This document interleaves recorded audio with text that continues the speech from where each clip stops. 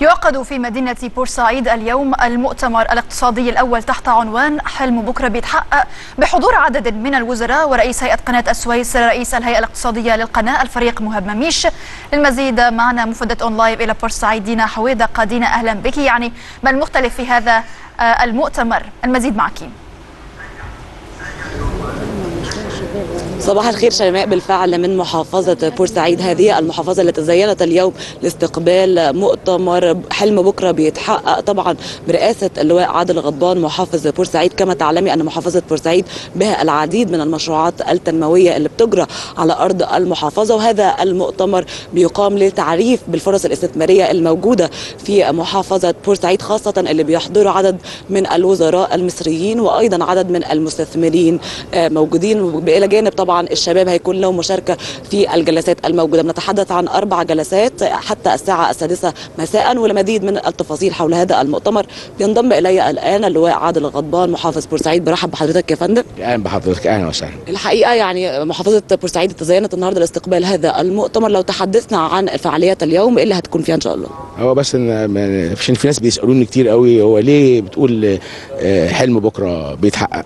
أنا بقول بس إن لو نسترجع ورا من سنتين وفي شهر نوفمبر 2015 كان فخامة الرئيس عبد الفتاح السيسي كان بيدشن مشروعات شرق بورسعيد في الشرق عندنا هنا.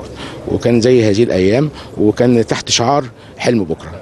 فإحنا بنقول خلال سنتين حلم بكرة ده أخباره إيه؟ لا بنقول حلم بكرة بيتحقق. طب بيتحقق إزاي؟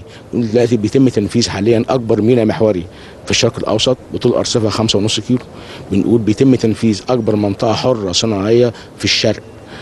على مساحة 40 مليون متر مربع. بيتم تنفيذ منها المرحلة الأولى حاليا على مساحة 16 مليون متر مربع. بيتم تنفيذ أكبر منطقة لوجستية.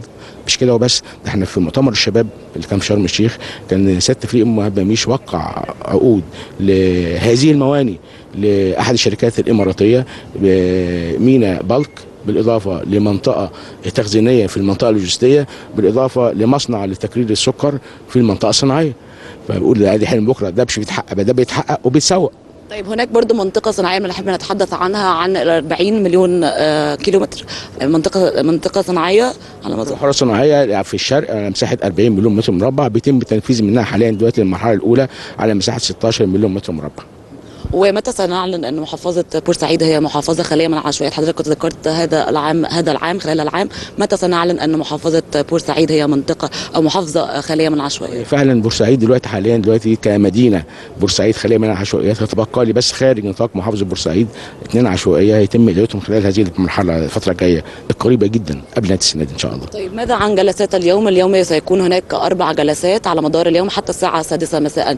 نحب نتعرف من حضرتك عن المشاركين في هذه الجلسات والمتحدثين المتحدثين والمواضيع اللي هيتم مناقشتها. هو معظم الجلسات عشان في شركة بتنظم الموضوع دوت. وفي نفس الوقت مش عايز أحرق اللي بيتم دلوقتي حاليا بس نقول معظم الجلسات هتبقى بنعرض فرص استثمارية في مجال السياحة بنعرض فرص استثمارية في مجال الصناعة. هنوقع لأحد الشركات الكبرى في مجال السياحة لإدارة الفنادق لأحد رجال الأعمال في شرق بورسعيد في آسف في غرب بورسعيد.